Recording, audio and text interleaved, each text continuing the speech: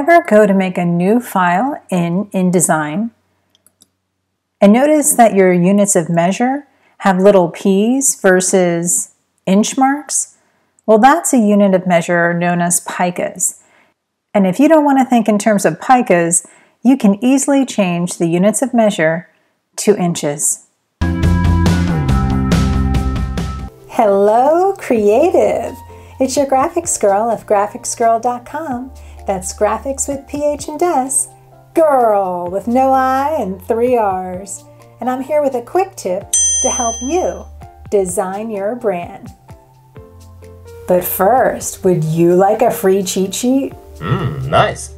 Head over to graphicsgrrrl.com to download your free InDesign cheat sheet that will show you all the shortcuts in the program. Just click the link below. Ever go to make a new file in InDesign and notice that your units of measure have little p's versus inch marks? Well, that's a unit of measure known as picas. And if you don't want to think in terms of picas, you can easily change the units of measure to inches.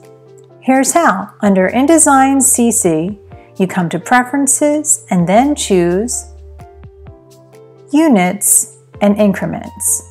So it's Units and Increments under the Preferences in InDesign CC.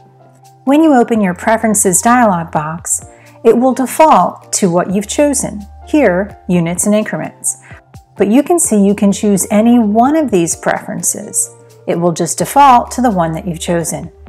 And it's right here, under Units and Increments, Ruler Units, that you can choose from picas to inches. So here under the horizontal, I'm going to choose from the drop down, I'll choose inches. And I'll also do the vertical ruler coming from the drop down. By the way, if you don't want to choose inches, you certainly can choose something in the metric system. I'll come here and choose inches, and now both my horizontal and vertical units of measure are in inches. I'll just click OK. And now I can see that the units of measure are in terms of inches. Here I'll prove it.